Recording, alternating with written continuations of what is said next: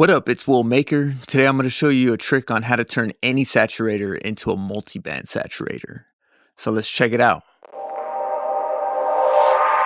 Now this technique works on vocals, instruments, or whatever you need help with cutting through the mix.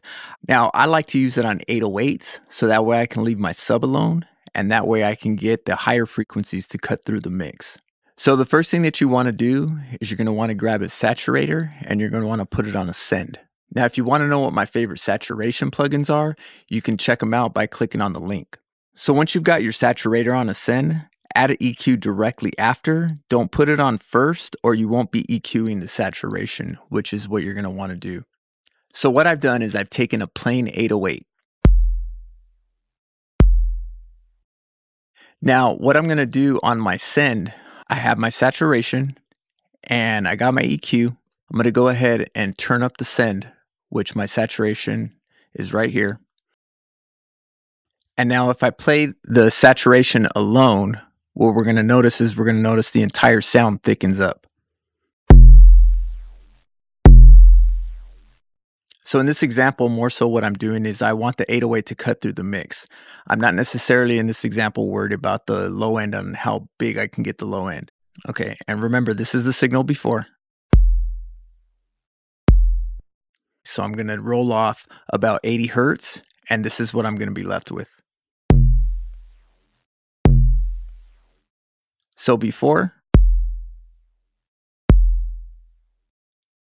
and after.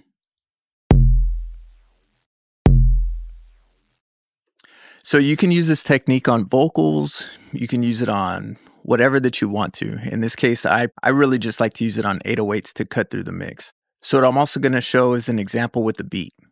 So this is with the same effects that I just had right now.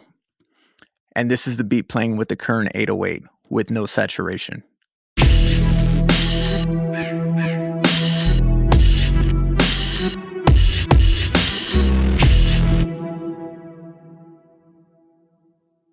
So what I'm going to do now, I'm going to go ahead and turn up the saturation.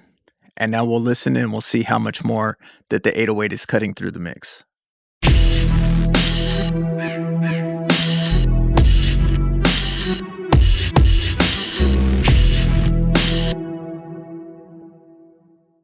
So this is a great technique to help you control the amount of saturation that you want to go ahead and add to a source. So if you want to add it on a vocal, if you want to add it on a kick, you can just add it on a send. You can go ahead and just EQ it to your own taste and the technique works great. So I hope that you find this technique helpful. If you have any other questions, feel free to drop a comment. And if you like what you see, please like and subscribe. Other than that, peace out.